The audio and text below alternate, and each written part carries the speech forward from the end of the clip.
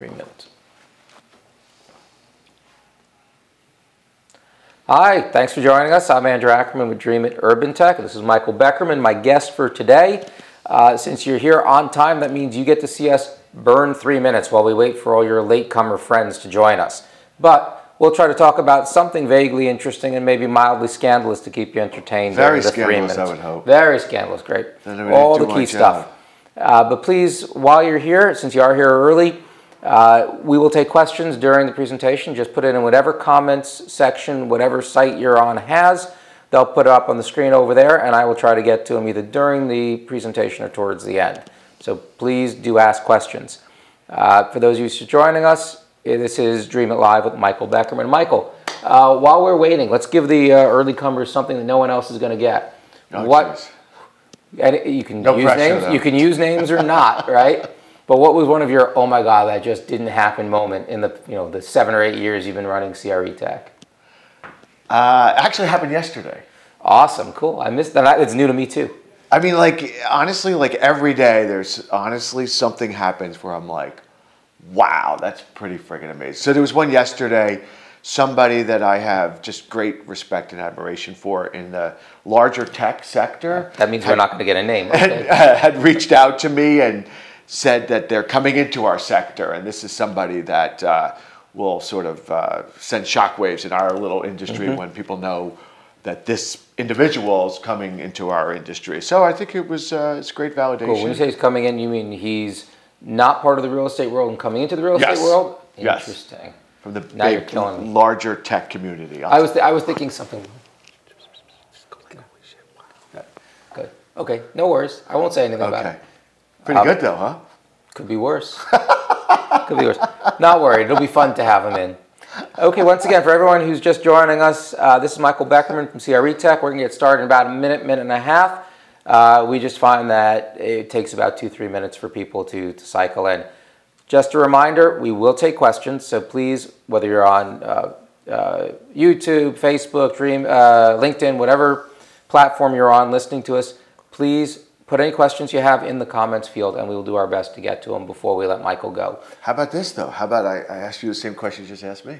Oh. Aha moment over the last number of years you've been doing this. So I'll, I'll go for the scandalous. I was at a very large conference uh, not too long ago, and it's one of those conferences where you go out late at night, and Oh, geez, drink, here we and go. drink, and drink. Okay. And, I'm um, out, everybody. No, it wasn't one of yours. It wasn't one of yours. Oh. Though I, you know, you have to step your game up. I do. Uh, and at one of them, uh, one of my friends who shall remain nameless had a friend of his or hers, not giving anything away, uh, come join, and that person got really drunk, and my friend ended up setting her up with somebody else there.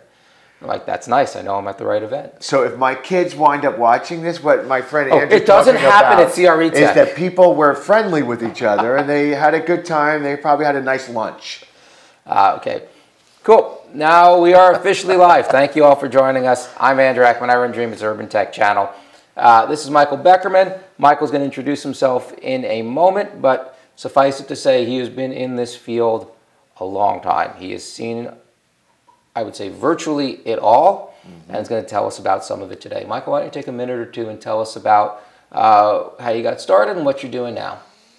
Okay. Well, first of all, thank you so much for having me here and all that you, Andrew, and the team do in our young industry and Dreamit um, as well. Of course, you've had a profound impact on our space, so we're we're very grateful uh, for all that you that you and the team do. Um, you know, I'm I'm just somebody that. Um, uh, thinks of myself as, a, as an infinite learner, that somebody that's just always looking for the blank canvas and um, just every day just trying to push myself into areas I've never been before. So I've been doing that for about 30, 35 years, always in this one industry though commercial real estate. Uh, started out, uh, built a uh, public relations firm in my early 20s, uh, didn't go to college and just, you know, been trying to figure out uh, how to make a living and make an impact and enjoy what I do every day since. And about uh, seven, eight years ago, decided to go leave that world and go into the tech sector of commercial real estate. So I've been doing that ever since with CREtech or CRE, CRE Well, Tech. sorry, we have this this ongoing uh, little dispute. Michael's trying to push the term CREtech, and I am steadfastly refusing The cool along kids with that. like to say CREtech. Not it's not my choice. Okay, so uh, basically, you've been talking for a living for 30 years, and Yes. for the past seven years, I've been doing conferences where lots of people talk to each other. Great, let's jump right in. Um, what kind of people come to CREtech? See, I did that. That's, That's the one great. time. That's a great question. Uh, that's why I never like to know what people are going to ask. Uh, what kind of people come to CREtech? Well, so let's say when, when, when this whole thing started, and it was started by my dear friend, current uh, partner Pierce Neinkin, say 2011 or 12. It was a, a volunteer organization. It was people just committed to technology. He was at CBRE. Eventually went to go work at Airbnb, and then I had started in the space with our first site called the News Funnel, um, and then the Content Funnel, and now Atypical, and then we bought CREtech in uh, 2017. So, by the way, content Yeah. funnel and the news funnel, great sites Thank to you. great Thank you. email. Uh, we come out once or twice a week. Yep, yep, yep, yep. Uh, Well, great wrap up. Great. Yeah. Why don't you tell them? Why don't I tell So them? the news funnel is like the largest news aggregator in the space. We've got Mm-hmm. about 160,000 people getting customized real estate news on a daily basis. And then uh, Atypical is a great digital marketing agency for commercial Mm-hmm. real estate. I, I use them as my crib notes for the day. Thank you if I'm very much. running, if I'm running late, I know I can just look at the news funnel and. I, I've got the That's highlights. the whole point. We're trying to help you out. Makes me look so less dumb. Who you know? So who was coming in 2017? I think it was mostly startups, Mm-hmm. uh, venture. And fast forward to our last conference, which you were at in, uh, and supported us. Thank you so much. Uh, in Brooklyn, uh, about a, a month or so ago, we had 2,000 people from 35 countries, and you know a lot, a lot, a lot, a lot of landlords, brokers, asset managers, institutions, Mm-hmm. private equity, in addition to startups and venture. So the community is really expanding and growing. or as we like to call them, customers, at least for startups. Customers, yeah. yeah. Uh, and by the way, that was a, a big improvement, not a big improvement, but a big jump. Last year, I think you topped out at 1,100, which I thought was Thank huge. Thank you. Thank you. By the way, funny story. Did I tell you about your venue last year? Uh, no, I'm sure there's a lot of funny stories no, no. about so our I, venue. I, I walk into that venue. And I'm Terminal Five. yeah, Terminal 5. I'm like, damn, I know this place. I can't figure out why I know this place. And it's bothering. It's bothering me. I'm on stage for the panel, and I look around. There's these balconies. Yeah, it's it's a all done concert in black. I'm like, oh man, I partied here in the 90s. While I'm in front of the audience, it hits me. That's why I know the place. I'm picking up a theme. Yeah. Yeah. Good. um, good. Good. was- Good. That Good. was a while ago. Good. So let's jump in. So now that we know who's there, we know roughly, uh, um, we know roughly the kinds of people, and 2000 is one of the bigger events in the space. Um, let's talk about the whole concept of partnering with startups. Uh, how, you know, the easy question is, have you seen? You've already answered that. But you've seen the appetite in the landlord and the developer and the operator community to partner with startups. You've seen that grow over time. Uh, can you tell me a little bit about how you've seen it grow, the kind of things that they've been interested in, and uh, more to the point, like how do they do it? What's their interest level? What's their level of sophistication? Tell me a little bit more, like who they are, so that the startups who are listening can kind of put themselves in their shoes and maybe understand who's on the other side of the table a little better. Yeah. So I mean, a lot of a couple thoughts. Um, you know, the the industry things are going great in the industry, right? Uh, money's pouring in. When I got started, you know, 50 million or so invested in the space, a few dozen startups, mostly New York, 2012, 13. This year, 25 billion. Uh, 7,000 startups have gotten funding to Got it. The good news is money's coming in. The, the class of entrepreneurs, particularly that are in Dreamit and others, are, it, it- it's phenomenal. It's phenomenal. You had LD on last last Yep. episode, which I watched, which was terrific, and he's representative of, of, I think, just the extraordinary talent that's in the space now. The challenge remains, uh, we, as we talk about, a lot about, is adoption, right?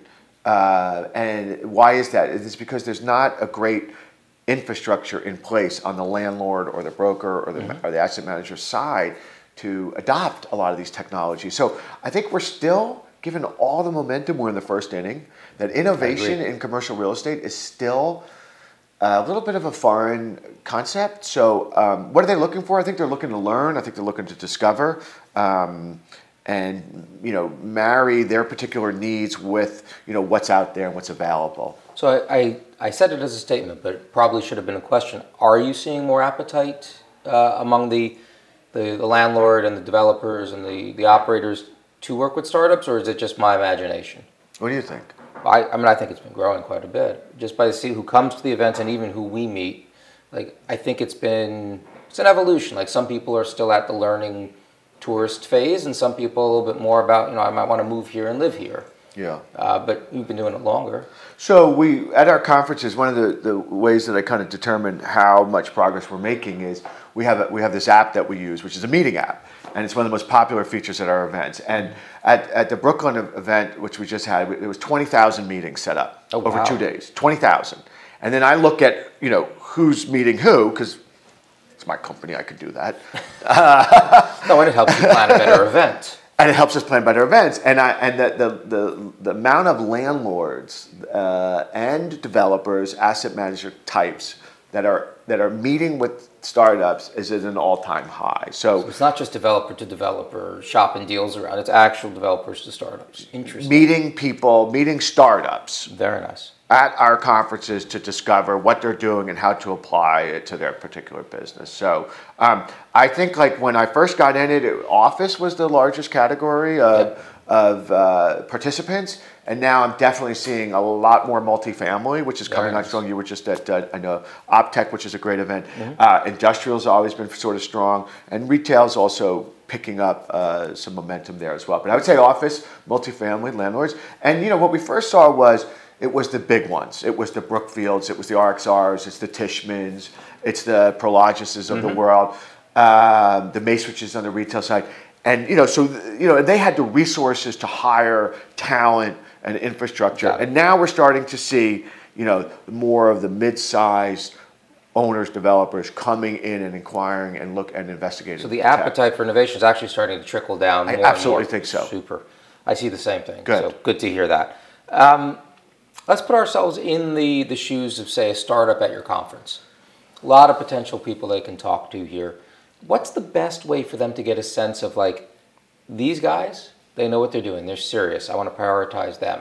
These other guys, very nice, but it's going to take a longer time. They're still earlier on their journey. They still don't really know exactly what they want because it's all about maximizing the time and ultimately the money you spend on marketing in these events. So, what would be some tips like, okay, you've met a potential customer. That one's really serious versus that one longer term. That's such a good question. Um, so you know, I, I we don't have any particular one you know skin in the game in the sense that like I want this one to win or this one to win uh, or this category. Uh, We want everybody to win and, and, and thrive in this industry. So when I, and I, I try and make myself available to as many startups as I possibly can to try and give them just some free advice for whatever what it's worth. Having been in this industry for thirty something years, uh, commercial real estate, and I tell them like, go where the f the hmm? Go where the friggin' fish are, right? Yeah. Know where they're biting, know who's biting and where they're biting, because you could look at commercial real estate and everybody comes in that comes in fresh. They go, oh, it's a it's a you know seventeen trillion billion dollar industry. Look at all this food. Look at all this opportunity. Wrong. You have to find out which ones are the early adopters. So how do we do that? How do we do that? First thing to do is look at what else they're adopting. Mm -hmm. So just do some basic homework to understand, either through collabor- talking to other startups or going online and figuring out which companies are adopting what. Got do it. a little homework. So if you see that XYZ developer is using that particular site, that what does that tell you? They have the appetite and the infrastructure to adopt. So I don't think it's rocket science. I think it's just doing a little bit of homework and not just under saying, "Oh, so and so developer is here. I'm going to get a meeting." Yeah, great, but your expectation needs to be. Awesome. Uh, you I want to keep going on I also want to remember, remind people who are just joining us uh, if you have questions, throw them in the comments field of whatever site you're on, and we'll try to get to them at the end. A lot of great questions. We got Michael Beckerman. He's been doing this for 30 years, so ask whatever you want. The other thing is, in case you want, you, you saw him hesitate for a moment. We're on a lot of panels together, and there's usually a pool to see which one of us will drop an f bomb first. I almost I'm- won. I, I know. You I can- go ahead, you can do it. This is this Okay. is not a necessarily a family. Don't want to be gratuitous in that regard. So let's jump. but- Let's go a little bit deeper. So we're at you know you've you've, you've found an organization which you think is uh, one of the more innovative, more ready to adopt technology because you've done your homework. Uh, how do you find the right person in the organization? Are there certain titles that generally are good signs, maybe generally bad signs? And maybe it's different for you know, a Brookfield or a Blackstone than it is for uh, you know hundred year family owned business that's you know New York Metro or maybe Northeast region. Yeah, that's that's interesting. So I, I would recommend. Well, first of all, just to step back a second, if you don't mind. So I think what a lot of startups misinterpret about this industry when they look at it and they say it is the biggest industry mm-hmm. on earth as measured by global GDP, right? It is the least innovative. Not True an that. insult, no disrespect, it's just fact. So surveys have been done, studies have been done by MIT and Harvard and many others. Most industries reinvest in innovation or technology 8%. Uh, commercial real estate's under under 1, okay? It's just a fact the way it is. Mm-hmm. And they, if you understand the DNA of commercial real estate, the one, the one word that I think defines most real estate companies uh, is, is risk, right? Or avoiding risk. Well, just risk. Yeah. Risk is the word you have to understand that. Mm. What is their tolerance for risk? How much are they willing to uh, try new things? Because in that world, if you if you make a bad bet, you're fucked. I mean, you cannot, is in real estate in general. It's a hundred years. You have to live with it. You, you have to live with it. These are massive decisions with implication, and that and that that has implication in terms of how they view technology.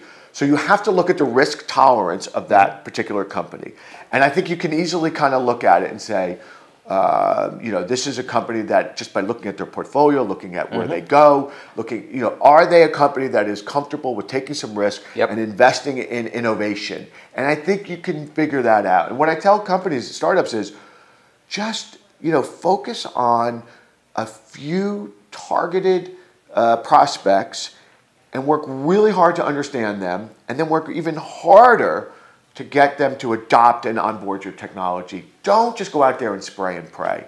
Um, so I don't know if that answers your well, question. No, I, am going to build on that a little bit. Uh, when I was first getting into the space and trying to understand uh, where the appetite for risk was and wasn't, one of the first people I've spoken to was Guy Vardy at Silverstein Properties. I actually knew him back when we were neither of us in the real estate space. Uh, and we were talking about the kind of technology he was comfortable with. and he said, Andrew, sorry, guy's Israeli also. He's like, you have to understand, if it's something that has to do with the heart, the infrastructure of the building, like it's an elevator, I'm least willing to risk that. There you go. Elevator stops working, yeah. big problem. Yeah. Uh, if it's a sensor I put in there and then you got a business and it's just a sensor that's stranded on the wall, okay, I'll take it out eventually. And if it's a software layer that if it doesn't work, I just go back to how I'm doing that, I'm willing to try that more. So you can think about your startup where the risk is, not only relative to that one company, but also the type of startup that you are.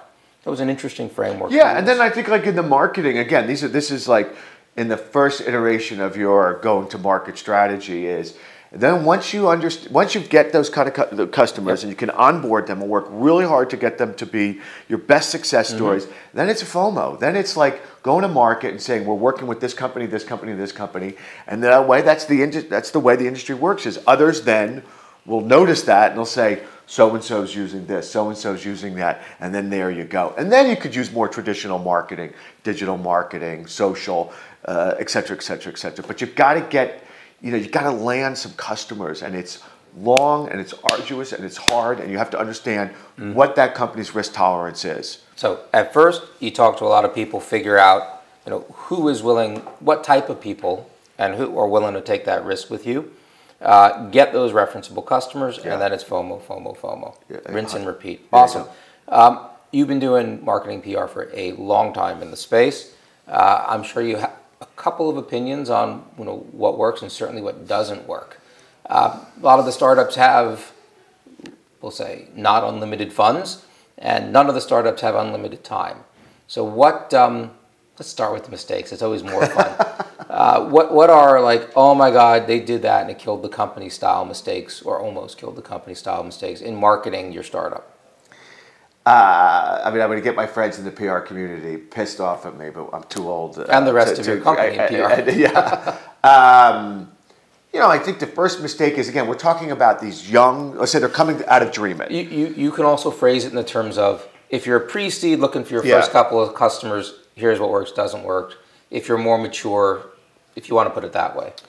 So if you're pre-seed, if you're early, if you're a young uh, startup, and I see these some of these companies talking about these massive marketing budgets for PR or marketing or promotions or things like that, and I say you're just wasting your money. Honestly, you're just throwing it away because again of what we were just talking about, you've got to be laser-like in your approach. So I would invest in things like again, uh, whatever kind of technology, marketing tools, assets that'll enable you to do a great freaking demo, that'll enable you to showcase your product, sight unseen, material, you know, and those aren't expensive things, but it's just a great book, a great pitch book, a great deck, a great something. So much that you see them all the time. They look like shit. And I'm going, this is your first impression that somebody mm-hmm. said, send me something. And why people just overlook the importance of that first impression. I hear you. You see that. So I have a high tolerance for work in progress. I have a high tolerance for like you know cruddy looking stuff.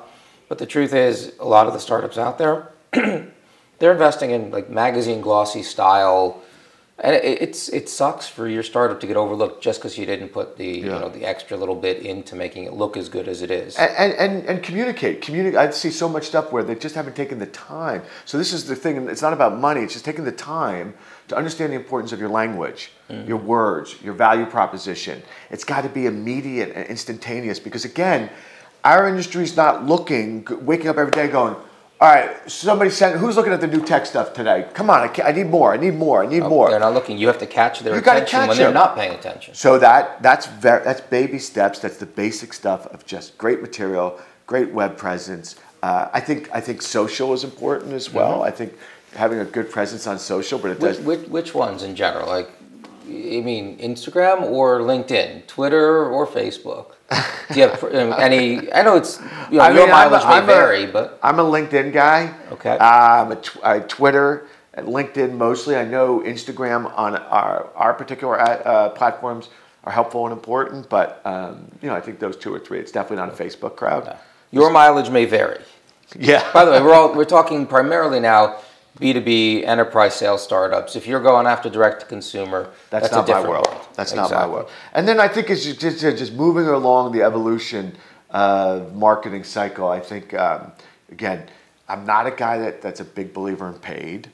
So I think as much, you know, good media uh, exposure is important. Getting to know the journalists in the trade. Uh, you, a lot of folks can do that themselves. Um, reading. I can't tell you. So at CREtech, you know, we don't. We're not journalists, nor do we aspire to be. Right? We aggregate every day, ten stories. We send it out to our distribution list, fifty thousand on that, growing every week organically. How many PR firms email me and say, Michael, would you like to interview the founder? No. I get pitched for that. I write occasionally for What about, Outlast. yes, I mean yes, yes, I would love to, but I'm not going to write about it because I don't do that. We don't have journalists. We're not editorial. You aggregate from So other just sources. understand, you know, the nature of the beast. Yeah. Um, and then I think again, you know, you go all the way down the food chain. You see what like VTS does, or Honest Buildings, or Reonomy. A lot of these companies are Procore are putting on their own conferences, their own customer uh, experiences, and things like that. So I think. You know, it's just from starting out very basic, understanding the value proposition, Mm-hmm. getting some great videos and testimonials of your customers, putting them online, sharing, socialing, socializing, commenting, coming to conferences, speaking at conferences, um, some good smart PR, uh, all the way up the food chain. So I want to blow out a couple of those things, but I want to add one thing that the that you gloss past, but I think is critical. Most startups at the early stage don't know how to describe their own company. Uh, they really don't. Right. Not concisely, not in a way that hits the pain points that the potential buyer is. So, in a in a prior life of mine, my first startup dealt with the summer camp industry. Yeah, I we're back in the we're that. back in the uh, late '90s, early 2000s, and we were telling people, oh, you know, do you, do you have a website for your summer camp? And they're like, back then a, a website was like a three-page brochure, right? They're like, oh yeah, I got that, and they just kept walking past our booth. Again, not the most important thing on their mind. Took us a couple iterations, and we realized at that point a photo gallery, so they could see mm-hmm. pictures of the kids, parents could see, mm-hmm. and paths were protected because the camp directors were afraid that there's going to be some like nasty guy doing nasty things to photos of, of kids. Uh, what we finally hit on is hey, does your website have a password protected photo gallery? Mm. And we would time it. They'd walk past our booth, they'd get about two thirds of the way past, we'd finish that sentence, they'd stop and turn around. Mm. Because that was a, a key point, pain point for them. They did not have a solution, it was something they hadn't seen before. Great. So if you can distill it down into Love the it. eight seconds it takes someone Yeah, to pass your elevator booth at pitch.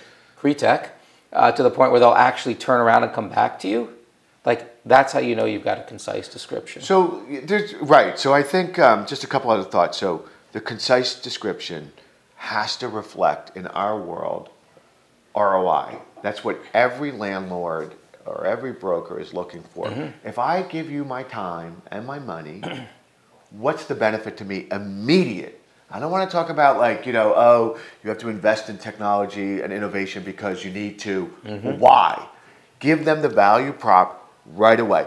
On the website, you know, proven methods such as just getting some testimonials of your early customers, mm-hmm. putting logos, uh, uh, uh, Social proof is big. uh, hugely important that people overlook. And um, and then again, just if you're building your your database, you're building your subscriber base, and people are following you, follow up every week. Send them something, and don't tell them three things, three reasons why we're the greatest thing in the world.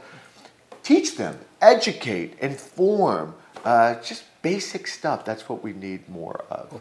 I want to talk a little bit more about uh, the other stuff. Again, early stage things, stage that early stage uh, founders can do. Uh, you know, care and feeding of journalists, right? Understanding from their perspective what they want to write about. Absolutely. And, and who's not a journalist. uh, so little basic research. Yeah, so do check the bylines whenever you see something, Yes. see what else they've written.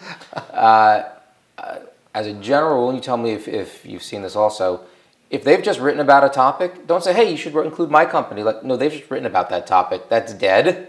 Come up with a new hook for them, right? A new angle, something else that makes them want. But just saying, hey, you forgot my startup doesn't seem to work, in my experience. Well, if you just look at if, if, if you know, you should be consuming every single day the content that's in our sector. There's probably ten really important reads. We try and aggregate it for everybody for free and distribute it. So, but you should be reading about what, not only what's happening in the industry, what the key trends are, but like you said, what is that particular journalist writing about? Right, mm-hmm. and there's some just some best practices. Don't call up, a, don't email a journalist and say, "Why the fuck wasn't I included in something?" Like, Yep. it's just like really i mean just just be thoughtful and say hey i read your article here's another twist or another theme or another angle or another thought Something they can build a yeah new article and they about. want ideas i mean most of the journalists that are in our space they, they not they didn't come from the commercial real estate tech sector because there wasn't one. So, you know, help them, educate them, give them some tidbits of some trends. Hey, we did a survey of our customers. Six, out of 60% are looking to invest this much over this period of time or value this more important than that. And that's a Feed hook 'em, they can build feed an 'em. article about. Yeah, feed them. That's what you do. What about uh, you mentioned also talking at events, right? Yeah. Getting up on stage, being on a panel, that's great. That's free publicity, gives you uh, street cred. Um, how do you do it? How do you get on stage? Not you or me, because like for How do some you get on stage? Yeah, like how as a uh, hustling startup, do you get to be invited on a panel or to moderate a panel or to give a talk just about whatever you do? So that's that's a thinly veiled All right, infomercial. good, good, good. Thank you, thank you, thank you. I want that. So at CREtech, the dirty little secret in the event business, as you know, uh, and you've not done it, but is that a lot of what you see is pay to play, right? And meaning that it, you can get on stage if you pay, and uh, it's great. I mean, we, you know, everybody does some of it, I guess. Some people do all of it. Um, it's not a knock, it's just different business model. My particular model is is more about I want great content. I want to put on stage people that are are are taking the the themes and the ideas to another level. That's why you've been you know on our stage Yeah, so many I don't times. pay. So I do actually. You're you're one of the few that like I do. so, like, what? I didn't What do time. I want to see as somebody that picks the content? I just want to know what's interesting. Mm-hmm. My friend Karen um, Hollinger of uh, of Avalon said to me, "You know, I want to I want to get on stage and I want to talk about uh, what's not being built for multifamily." And I said, "Fantastic." Or you know, Will O'Donnell talks about you know what Prologis is doing on the innovation front in in uh, the logistics space. I mean, amazing, mind-boggling. But you know, we've also had, you know, Owen Thomas, the CEO of Boston Properties, mm-hmm. and we've had Michael Rudin, and we've had a lot of people that aren't necessarily tech people, but are just very, very thoughtful about, you know, where the industry's going and how it has to evolve. Which is gold if you're a startup. You want to know. That. So I just want to see ideas. People can they email okay. us all the time. So if you're doing, if you have an innovative startup in some topic in prop tech that maybe hasn't been covered that much that's the kind of thing you can pitch to Michael. Like, hey, we're working on X. I haven't seen you talk about that yeah. at, at CREtech. Yeah happy to talk to you about it. Maybe and maybe you propose to bring a panel together about it. Yeah, I mean we're trying to get away from panels. Oh, that's right. You don't. Uh, well, we're, we're, I'm always open to it. I mean we're work in progress. Or, or, or a, a, side session. Yeah, keynote. We like we like these keynote sessions, these sort of TED talks, because I just think that they're more interesting and we can get through them. Mm-hmm. And you know people's attention span is you know for a lot Sorry, of panels. About? Yeah, exactly. Uh, but yeah, I mean, i am always looking for new technology, new innovation uh, new now, products. Would, would, you, you know, budget permitting for other other um, other conferences? Is it worth paying to play, or it depends? I think I think again I, I don't come from this world, so I'm I'm I'm just trying to put myself in the audience and say I'm sitting in the audience. What do I want to hear? Mm-hmm. Right. Um, that's a good one. I, you, you got me. Uh, I think it just depends on who's in the audience. I mean, you want to know that your customer is in the audience. So if, if the customer is in the audience, someone that can write a check or adopt, you know, you look at different ways to uh, get in front of them. So in so, a weird sort of way, you want to put yourself in the organizer's shoes and say, if I were to put me on stage, would my audience be interested? And if the answer is yes, right. then maybe it's worth you paying. Otherwise, you're talking to people who don't care about what you have, so why bother paying for that seat? Yeah, I mean, I just you know, if I was a startup and I paid money to speak, or and I got up there and I saw that the audience was either not uh, my customer base or not sizable mm-hmm. that in a meaningful way, I just think that that is just exposure for the sake of exposure, and that's what I was talking about before. Mm-hmm. Like, not you know, it's not just a question in this industry of just getting as much as you can. Nope. Uh, getting in front of the right people. Right people at the right time with the right message, and you know, be thoughtful about all of this. How do you feel about content marketing? Well, I, I actually love it. I mean, one of the reasons why um, I decided to get out of the PR business personally was I just felt that. Uh, no disrespect to my, my friends in the PR community, because there's some amazing agencies out there that a lot of what was happening when I made my exit was that companies and people you could do through platforms your own mm-hmm. PR, your own messaging, and if you really were thoughtful about it, you could do a great job. And you didn't need me as a PR guy to do that for you. Th- those days were go- are long gone where you would have you know pitch the New York Times or the Wall Street Journal, and it would take you six months to work on a story. And you had to cultivate yep. it. You had crisis PR. Yeah, I just think that everything changed about 2008, 9, 10, 11 when I finally got out.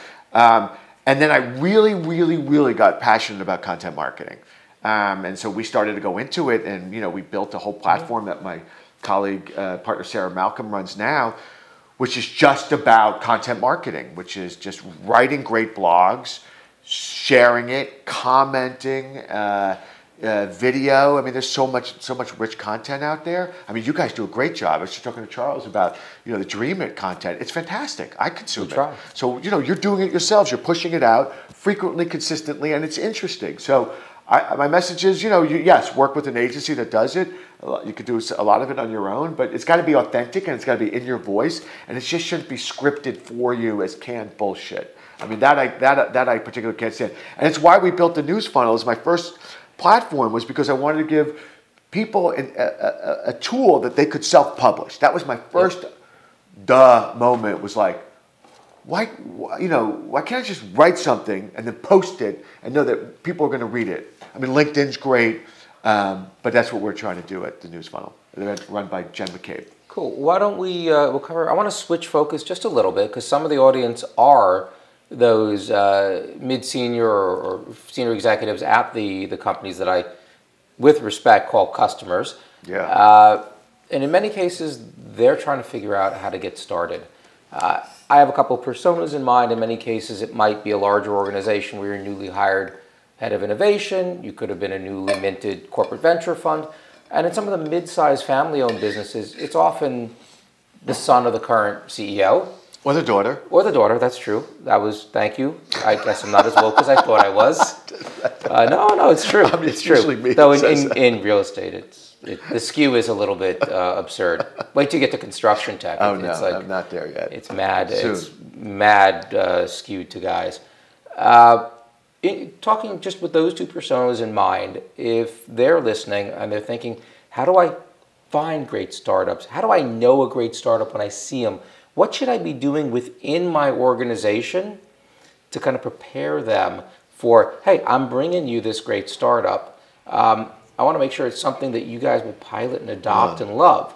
Uh, any tips for them? So I've spent a lot of time studying best practices in terms of tech adoption in other industries. That's where I sort of learn, and I try and bring some of those lessons I learned to, to, to our young industry. And so there's a couple of things that I've seen that have worked well. So first thing is like sort of understanding what your organization's pain points are. Mm-hmm. What aren't we good at? Are we still at Excel spreadsheets? Are we we still using a fax machine? Are we like where where are we tripping up on inefficiencies? Where can we get better? Right? So understand like what's the pain?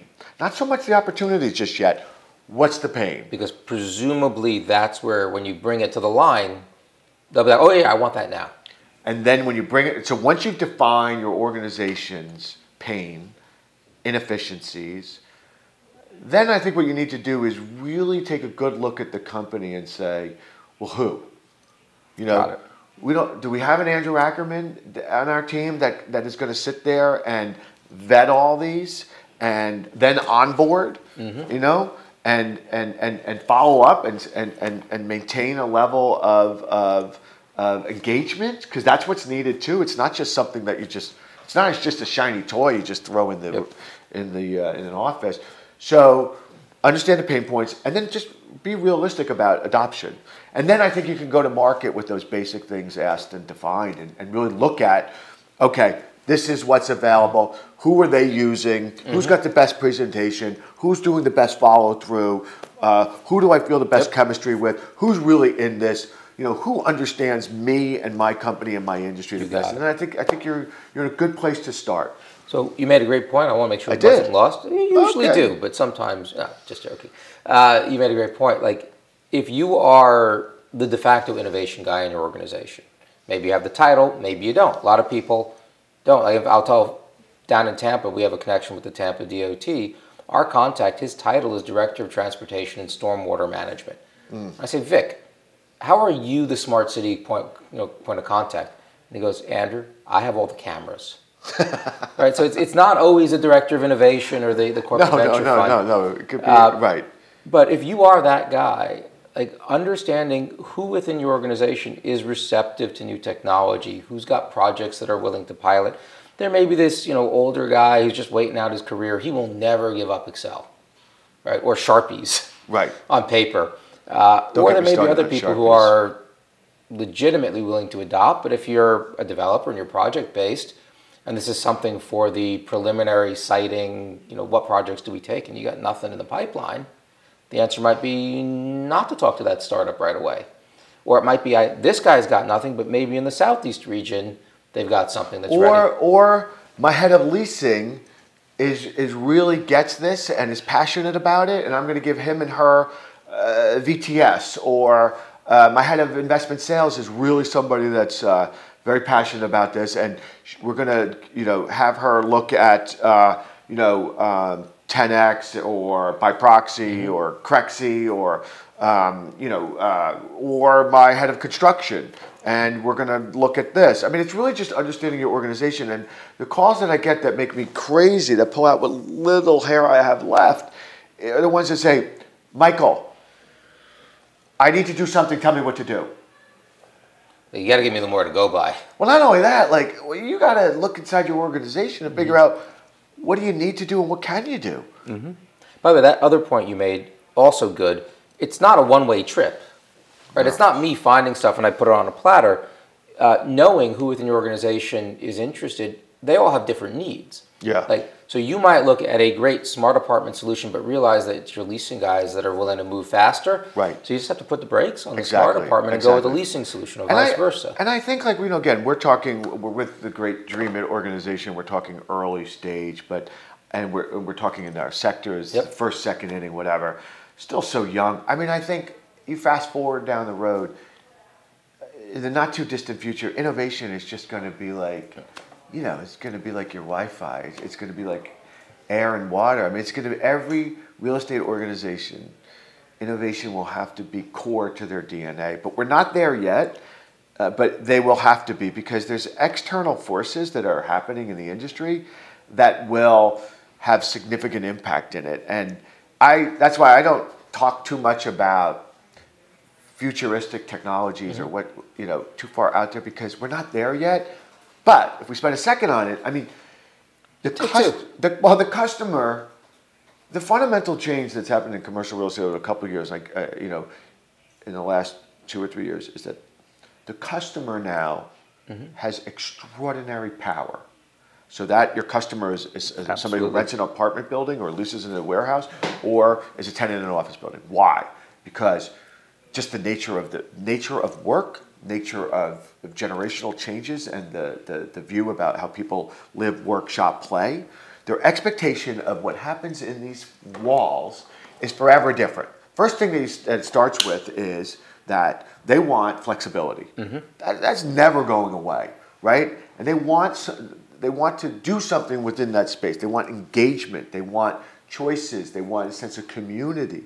Um, I mean, don't get me started just on the whole generational, millennial, X, or you know, uh, changes in terms of the way they view work and, and living and what have you. So everything's going short term. Yep. So what can technology do for your organization to enable you to meet that new demand? Those are the most forward-thinking organizations Yep. that are adopting, you know, the HQOs and the Equiems and the and the, the et cetera, et cetera, et cetera, et cetera. So, I mean, I think you got to get in the game.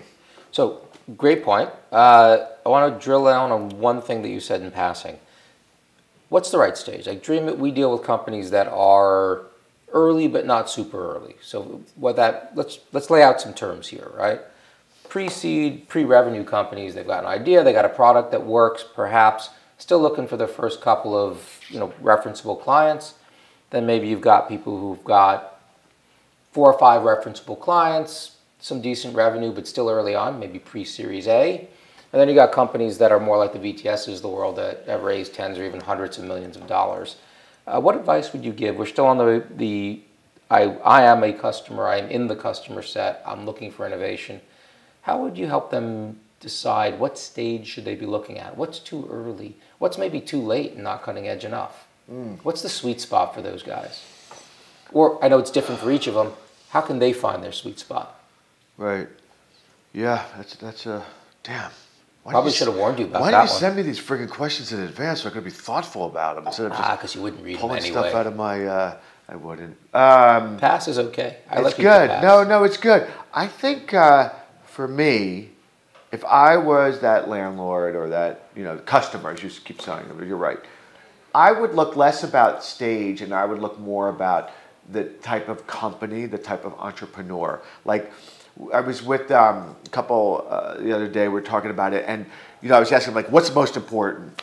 And the answer was it's really about the leadership of that that that you know technology company because they're not all s- startups. And I think I would look less at the stage and I'd look at a couple things.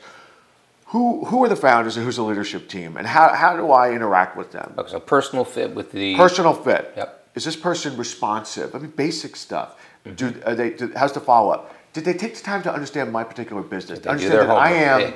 I am a garden style multifamily owner as opposed to I am a luxury urban, uh, you know, class A Oh, I can multifamily tell you how much I hate when people reach out to me cold email.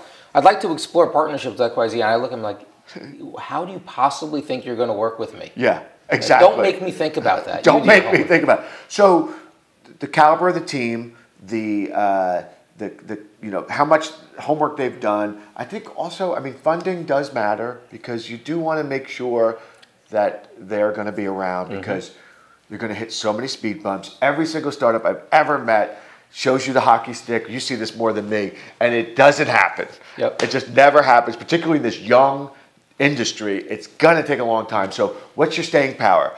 You know, show me your scars. Show me what you've done before uh, that, that I know that you're going to weather this and not go away. Because there's been a few failures, and, and the companies, you know, they're gone. Yep. And then those that invested in it, not not financially, but in terms of time and effort and onboarding, are like, ah, you know, here we go, got to start all over again. So, they're they're weary of useful it. so that the customers don't end up working, depending on their level of and level of appetite for risk. You, you want to make sure you're dealing with a company that will be around in two, three, five years, and funding is a reasonable proxy I think for so. And that. who their who their funders are. I mean, like I do look at, you know, is it Dreamit? Is it Fifth Wall? Is it Camber Creek? Is it Mm-hmm. Navitas? Uh, is it you know John Helms Group? I mean, is it? Met- I, I look and I say, yeah, yeah. So if those people back that particular entrepreneur, it does matter who you get your money from. Got it. It really, really makes a difference uh, in my particular eyes. And, and in case they don't know where to look for that information, where's a good site to figure out? You could just ask, but where would I mean, they? Crunchbase has a great is a great one. Uh, you can see on their website a lot of times. Th- they'll they'll you know put it on their website who their funders are. Um, and again, I think the other thing is like nobody's nobody's product where they start is where they finish. So again, Yep, do they have the product chops? Are they a product? Are they a customer focused organization? Because I mean, you look at every successful uh, startup in, in Silicon Valley. I mean, none of them ever started where they wound up finishing. So, you know, those are some of the things to look for as opposed to maybe stage. Super. We have time for a couple of questions. I've got a few. That's why People I keep looking over there. talk to me. They Not that many. I know you lose focus after a while. I'm just bored of myself. So, quick reminder: uh, you can put your questions in on whatever platform you're consuming this on, and we'll try to get to those questions too. We only have a few more minutes because you know Michael turns into a pumpkin in a couple of minutes. But let's get to the good ones. Um, Do we have any? Yeah, let's talk. Oh, we didn't talk about these yet. So let's say you are a seed investor in tech startups. What advice would you give them, right? Um, we mostly see venture capitalists, but they only want to see us when we get to seed. Oh, sorry, take it around. These it's a startup saying how to get that seed investor. They they talk to a lot of A round uh, VCs, and they all say, hey, you know, you're a little too early for us. Yeah, one of the things that drives me crazy about your business uh, The soft is, no? is uh, yeah, which I get, and we've debated Why, it. why don't you explain the soft no, no? you explain it because it's So your. the soft no is sit back um, and listen to you now. So yeah, Here's what it sounds like if you're a if you're a startup. Hey, I really love what you're working on, but you're a little early for us. Why don't we keep talking and come back have when you heard have a this, little bit right? more traction? So that can mean one of two things. It could mean, hey, I really love what you're doing. You're a little bit early for us. Let's come back when you have more traction. Or it could be like, man, there's no fucking way we're investing in you. But on the off, off, off chance I've made a mistake and your round does come together and you actually have something, I don't want to be the moron that's left behind. So then please come back to me. But really, I think you're doomed. So, you know, it's very difficult as a founder to know the difference between the two. Uh, what I tell our startups to do is you turn to the VC and very politely say, Great, that's very valuable information. What metric or metrics should I be shooting for? And then I'll be in your, in your Very strike good, zone. very good. So if a, if a VC comes back and says, Listen, we're looking for $1 million annual That's recurring great. revenue, uh, and I'd love to talk to you when you're getting close to it, they might be serious. Yeah. If they start hemming and hawing, like, well, it depends. They're trying to find like what possible cow flying over the moon would make them think that you're at all, like you know, even remotely on the right path. Uh, you know, at the end of the day, you just can't know a lot of the time. Well, I mean, what what I think uh, frustrates me at times is, uh, you know, ours is an industry that requires patient capital. We're such a young industry. We're probably the last big industry on earth to, you know, catch this wave of innovation and technologies. So we need patient capital. So let's just take the Dreamits out of the equation. If I was getting into this game uh, and I was an angel and, and I was a startup, I would follow this playbook. I would make my customers my angel investors. So strategic money. You love my product. Would you like to put 200 into the company? 50, 50. Okay. 25, whatever you can get, so that they will sit with you, help you, teach you, and direct you. That's what they need. So it's more about the skin in the game than the actual cash in the bank I mean, account. look, look, look at my, look at our mutual friend Nick Romito and Ryan and what, what they've done at VTS. I mean, they started out, they were shooting videos. They got some uh, great traction uh, from their Yep. customers, and their customers were people in the industry. And they told them, "Hey, man, that's good, that's cool." I'm paraphrasing Nick and Ryan. I'm, si know it wasn't that, like just like this, but you know, it's that analytics that you've got, Yep. and that, you know, is what we really want.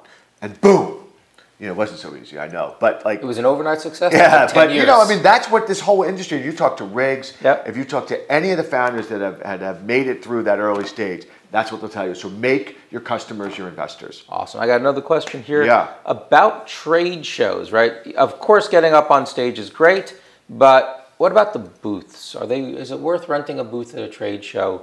Uh, and they they talk specifically about Optech Expo, the Cooperator, Buildings NY, etc. CREtech. Yeah, the CREtech boots are of course worth every penny and then some. Yeah, but here's the thing, right? Yeah, I think boots are very important. At our shows, we have three primary vehicles. We have our meeting zone, where people are just setting mm-hmm. up meetings all day, every single day. We have our stage, where you want to come, you want to hear the CEO of the real estate mm-hmm. company give you some advice, tell you what they're working on, great.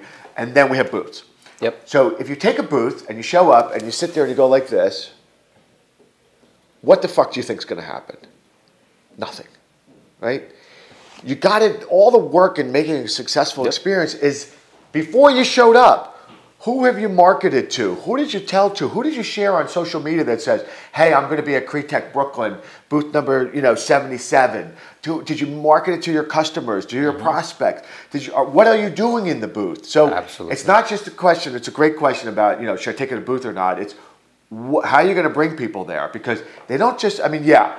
At our conferences, because we, we spend a lot of time trying to get the right audience there, people are doing great business, which is really important, but you've got to work harder than that. You got to ask about the audience. You got to ask about the audience, right? Um, and a lot of these conferences have shitty conference apps. If they do have a good app, you should be working that for the week or two in advance. yeah, and I also see some other conferences again, not to just tout my own because I don't want to be that guy, but you know, I go to other conferences like the trade shows, and you see the startup booth way out in the corner in left field, and it's like, you know, why did you why did you spend the money on that? So ask about the layout too. Ask about the great question. Ask about the layout. Where are they? And, and what is the conference company doing to drive traffic? And who's their audience? Ask those tough questions. Ask about the schedule. Right? Are, Ask you, about the are you competing with keynotes or is there Exa- dedicated conference time? Very good. Tell you, when we used to do it, uh, my first startup, we had a rule: no one stands behind the table. Yeah, Whenever we went to a conference, advice. we were in front of you the table. You should write a blog about that, by the way. You should Yeah, write a blog seriously about like you know, tips and that yet. suggestions about what to do to maximize a, a, your, your trade show experience. That'd be great.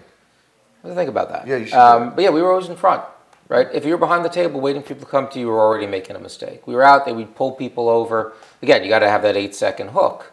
But uh, we were always wandering around. In fact, a lot of the conferences we went to, it's like, guys, you have to stay in front of your own booth. You can't wander in front of other people's booths. But I'd rather get a brushback pitch than Yeah, not get well, the pitches I want. uh, but you know, I'm I'm a little uh, Yes. little aggressive that way. In a good way. Um, last question. People ask it. It's you know maybe a little out of left field, but why not? Okay, what uh, what what what is WeWork? That's short for what the, the short for the snafu that is now currently WeWork. What do you think that makes for the prop tech industry? Um, is it going to have any impact? I'm going to put my own spin on it. Is it going to have any impact on perhaps you know customers' willingness to pilot with other startups? What do you think? Um, I, I think it's mostly irrelevant, though I, I will give props to uh, Karen at Avalon Bay. She said when she's pitching ideas internally, like she's been trying to pitch, we got to do co working internally for so long. And the people who were not receptive within her organization were like, no, we don't want to do it, we don't want to do it. Now they're like, aha, we shouldn't do it because it's not sustainable, which is the wrong, in my opinion, uh, lesson to take. I think WeWork is a sustainable real estate model, it's just not a tech startup. Yeah. But it gave a little bit of a- ammunition for the people within a large organization who didn't want to experiment with that particular type of business. It gave, it gave them a little bit of ammunition to kind of resist it. But I think, generally speaking, um, for what my opinion's worth, It's worth a lot to me. It's not going to make a lot of difference. If, if you're trying to sell a data aggregation services for real estate underwriters, like what happened with WeWork doesn't matter. If you're selling a construction tech solution for checking people in and off the site, like what happened to WeWork is utterly irrelevant.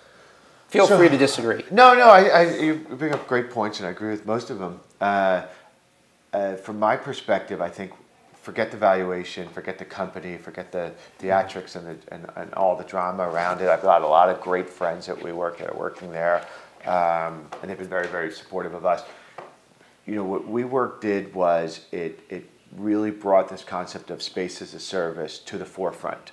And it, they did not invent the category, but Nope. they, I believe, in my humble opinion, they really, really brought it to the next level, and that's why you know. But there's you know there's there's Industrious and Knotel Mm-hmm. and many, many, many others. But the, the, what I was talking about before about like this this whole concept of commercial real estate as a hospitality Yep. industry, they were largely responsible for a lot of that uh, traction that we've gotten over the last couple of years. So, as a tenant now, because of WeWork, me, my company, we're a small company, we're 16 people.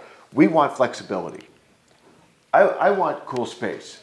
I don't need the free beer. I'm a tequila guy only, so I you know you can keep the free beer.